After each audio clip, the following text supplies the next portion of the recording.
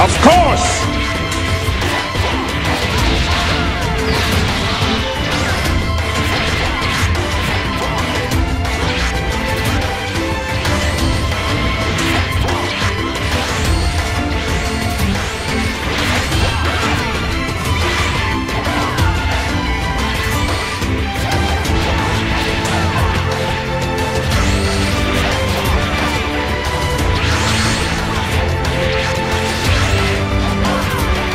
One eternity later. Miss me with that gangster!